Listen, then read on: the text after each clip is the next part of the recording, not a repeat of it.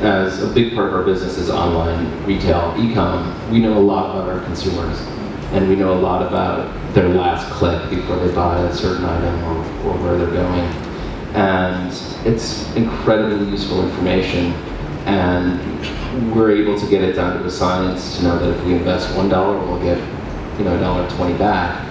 And that's great information, but it's also a little dangerous because it's kind of easy to then shove all of your money into this lower funnel activity because you know exactly what you're going to get back, um, which isn't really necessarily increasing the overall you know, pool of your consumers.